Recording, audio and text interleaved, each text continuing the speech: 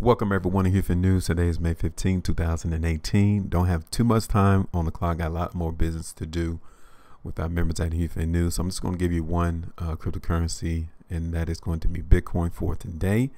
And as always, you guys are interested in what we do here and how we're able to forecast and predict where prices are likely to go. Then you have to become one of our members. Uh, I told you guys earlier that we're going to focus majority of our time with our members, those who value what we do. So we do look forward to seeing you all there.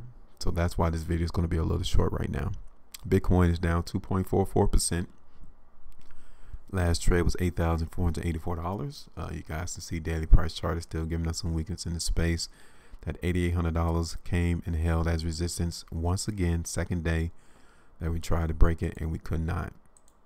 Uh, taking a look at the three hour chart for Bitcoin, you can see that we're back into consolidation. Uh, next, this current three hour bar, if it closes below, then Bitcoin is still going to continue to move to the downside. $8,400 though, in or around that price, needs to hold as support. Okay, and I'm still seeing weakness in the space for Bitcoin.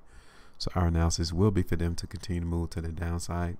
Uh, 8,400. I would like for them to come and hold support there, but definitely it can go a little lower than that if these lows of these one hour bars is not going to hold.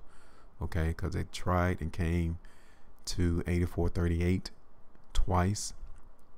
So that might be the third opportunity to where we might hold support again. So if we do, then that would be support. But right now, definitely looking for Bitcoin to continue to move to the downside. You guys got any questions and comments?